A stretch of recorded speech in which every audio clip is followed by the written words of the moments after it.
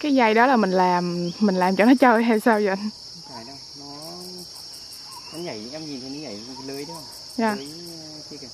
Là mấy con to nó nhảy xuống là nó nó vướng cái cửa mình không mở được nhưng mình buộc đấy cho nó kéo cái lưới lên đấy. Nhưng mà nó lại